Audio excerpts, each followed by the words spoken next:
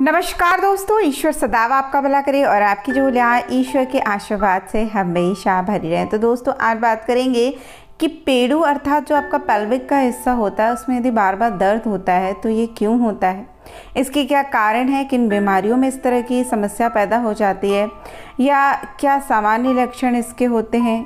किन घरेलू उपायों से हम इन्हें दूर कर सकते हैं और किस स्थिति में हमें तुरंत अपने डॉक्टर की सलाह लेनी चाहिए, वो सब कुछ हम इस वीडियो में जानेंगे। लेकिन वीडियो को शुरू करने से पहले बस मेरी इतनी प्रार्थना है कि यदि चैनल पर नए हैं तो चैनल को लाइक और सब्सक्राइब ज़रूर कर दें। तो दोस्तों, बात करते हैं कि जो पेट का निचला हिस्सा होता है, जिसे आप पेड़ू कहते हैं, पैल्विक कहते हैं, ये जो हिस्सा होता है, ये पेट का सबसे निचला हिस्सा होता है। इसमें आते, मूत्राशय, गर्भाशय और अंडाशय जैसे अंग मौजूद होते हैं। आमतौर पे जो पेड़ू होता है, पैल्विक होता है, इसमें दर्द का अर्थ होता है कि इन अंगों में से किसी एक अंग में कोई दर्द हो रहा है, जिसकी वजह से आपका जो पेड़ू है या जो पैल्विक है, उसमें दर्द या पेन महसूस हो रहा है। इसके अलावा इन अंगों के पास वाली जैसे हड्डियाँ हैं, मांसपेशियाँ हैं, तंत्रिकाएँ हैं, रो जो रक्त वाली नसें हैं या जोड़ों में भी इस तरह का दर्द होता है, तब भी इस तरह की समस्या पैदा हो जाती है। और महिलाओं के साथ तो देखिए ये समस्या बहुत ज़्यादा देखी जाती है, क्योंकि हार्मोनल बदलाव की वजह से और ख़ासकर मासिक धर्म के दौरान इस तरह का जो दर्द होता है, वो सामान्य देखा जाता है। तो अगर इस तरह की समस्या है कि मासिक धर्म से पहले शुरू होती है प्रॉब्लम तो कोई विशेष चिंता की बात नहीं है। जैसे ही मासिक धर्म ख़त्म होता है, वैसे ही दर्द ख़त्म हो जाता है। कितनी बार शुरू होने से दो तीन दिन पहले ये समस्या शुरू हो जाती है। इसके अलावा कुछ विशेष परिस्थितियाँ, जैसे अपेंडिक्स में मूत्राशय के विकार जैसे कि यूरिन इन्फेक्शन में। इसके अलावा गुर्दे के संक्रमण या गुर्दे में पथरी जब होती है, किडनी स्टोन जिसे आप कहते हैं, तब भी महिलाओं या पुरुषों, दोनों में इस तरह की दर्द की समस्या हो सकती है। कभी कभी ऐसा होता है कि दर्द कभी कभी होता है और कभी कभी कुछ लोगों के साथ ऐसा होता है कि लगातार हो रहा है। देखिए, जब भी दर्द लगातार हो और ख़ासकर तीन चार दिन से ज़्यादा हो गए तो तुरंत अपने डॉक्टर से ज़रूर सलाह ले लें। खासकर एक सप्ताह यदि हो जाए और आपको बिल्कुल दर्द में आराम नहीं मिल रहा है तो डॉक्टर की सलाह तो तुरंत ही लेनी चाहिए। इसके अलावा इसके जो दर्द का यदि कोई रीज़न नहीं पता चल पा रहा है तो सबसे बेस्ट तरीका होता है कि टेस्ट करवा लिया जाए कि ये दर्द किस वजह से हो रहा है, या कौन सी ऐसी बीमारी है जिसकी वजह से ये एक तरह से आपका जो बॉडी है वो एक सिम्टम दे रही है पेल्विक पेन के रूप में। अब हम बात करेंगे कि लक्षण क्या होते हैं। देखिए, मासिक धर्म के समय में तो ऐंठन होती है, दर्द होता है। इसके अलावा कब्ज जैसी समस्या हो जाएगी, पेट फूलेगा या पेट में गैस बनने लगेगी। कुछ व्यक्तियों के मल में खून आने लगता है या सेक्स के दौरान जिन लोगों को दर्द की समस्या होती है, उन लोगों को भी इस प्रकार के पेल्विक पेन की समस्या देखी गई है।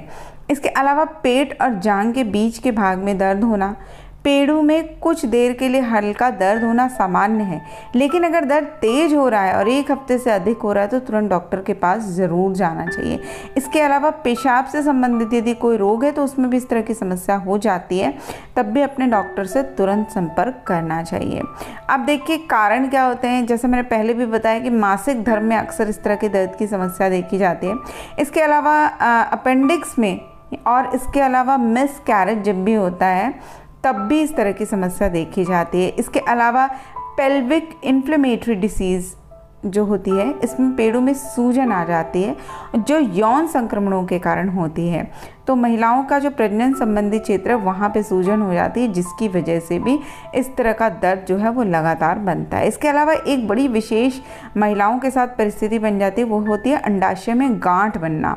इसमें देखिए, एकदम लक्षण नहीं देखते हैं। गांठ कितनी बार मुड़ती है, टूटती है तो पेट के निचले हिस्से में गांठ वाली जो जगह होती है, वहाँ पे दर्द होता है। तो इसके लिए तुरंत अपने डॉक्टर से आपको इसका समाधान लेना चाहिए। इसके अलावा जिन लोगों के गर्भाशय में फाइब्रॉइड होते हैं तो जो फाइब्रॉइड होते हैं, ये गर्भाशय की दीवार पे मौजूद एक तरह से ट्यूमर होते हैं।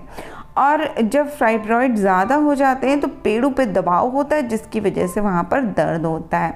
इसके अलावा महिलाओं को देखिए बच्चा पैदा करने और उम्र बढ़ने के कारण पेड़ों की जो मांसपेशियाँ हैं वो कम हो जाती, जिससे मूत्राशय, गर्भाशय और मलाशय, ये योनि की तरफ़ झुक जाता है और अपनी जगह से हिल जाते हैं। और ये समस्या किसी भी महिला को हो सकती है, लेकिन जिन महिलाओं की उम्र बढ़ रही है, उनके साथ ऐसा ज़्यादा होता है। तो इसलिए इस अवस्था में अपने डॉक्टर से सलाह, खासकर जो आपकी गायनाकोलॉजिस्ट हैं, उनसे सलाह ज़रूर लेनी चाहिए। इसके अलावा पुरुषों में भी इस तरह की समस्या देखी गई खासकर पुरुष नसबंदी के बाद या बैक्टीरियल प्रोस्टेटिस के बाद भी देखी गई है। इसके अलावा जिन लोगों का प्रोस्टेट बढ़ जाता है तो वो मूत्र मार्ग पे दबाव बनाता है, जिससे मूत्र को बाहर निकालने के लिए मूत्राशय की जो मांसपेशियाँ हैं, उनको बहुत ज़्यादा काम करना पड़ता है, जिसकी वजह से भी पेड़ों में दर्द हो जाता है।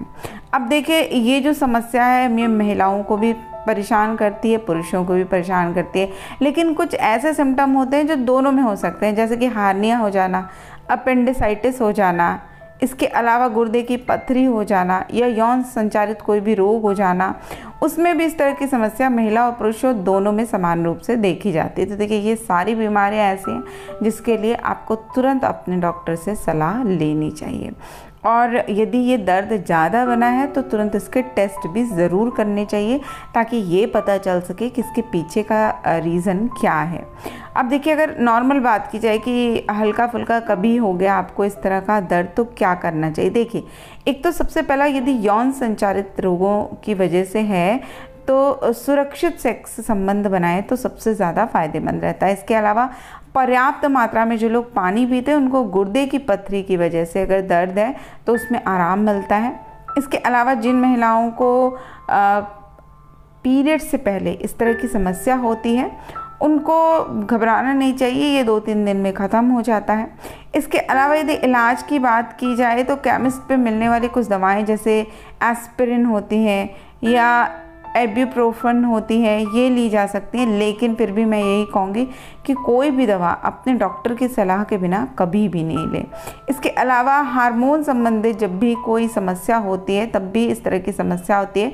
खासकर एविलेशन, जो आपका अंडा जो बनता है हर महीने, वो मासिक धर्म को नियंत्रित करने वाले हार्मोन में बदलावों के दौरान भी इस तरह की प्रक्रिया होती है। तो कितनी बार डॉक्टर इसमें गर्भ निरोधक गोलियाँ या हार्मोन संबंधित गोलियाँ देते हैं, जिससे कि पेड़ों के दर्द में आपको राहत मिलती है। तो ये कुछ ऐसी चीज़ें हैं जो आपको आराम दे सकती हैं पेड़ों के दर्द में। इसके अलावा कुछ एक्सरसाइज ज़रूर करते रहना चाहिए, खासकर जो लोग व्यायाम नहीं करते हैं और जिनके पेट में अक्सर गैस बनती रहती है, उनको भी ऐसी समस्या होती है।